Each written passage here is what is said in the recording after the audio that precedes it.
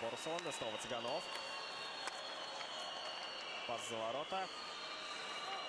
И на пятак поехал Цыганов. А вот и Кемпи открылся, получил шайбу, возвращает ее под бросок и не попадает каким-то образом.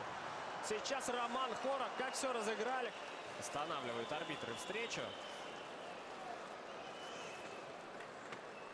Ну и сам, наверное, на видеокуб поднимает глаза Роман Хорок, чтобы вот этот момент увидеть на повторе.